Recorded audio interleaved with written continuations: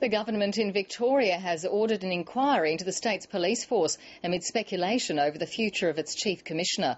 Tensions between Simon Overland and the government came to a head last Friday when he ordered his deputy, Sir Ken Jones, to take immediate leave.